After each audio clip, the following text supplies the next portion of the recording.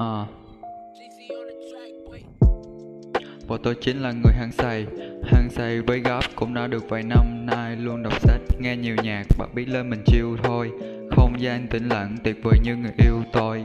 Những lúc phi gấp tôi thức trắng cả đêm thâu. Mong sao cho một ngày nào đó gấp được đỉnh cao như đang vâu Tâm hồn này vui vẻ viết bài gấp dưới tán cây. Đứa gôn phố này nhẹ nhẹ và bay bổng như là áng mây.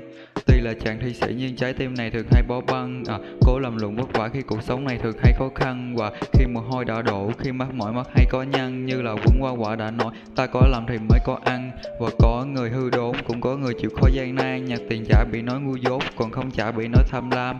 Ôi này người ơi, ai đang rơi một cái bịch 20k ta đem trả những 20 triệu thì chắc chắn chỉ còn cái nè. À, à, Chỉ còn cái nè.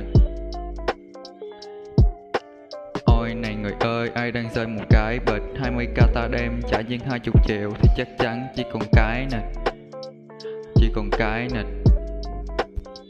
Chỉ còn cái nè Và chỉ còn cái nè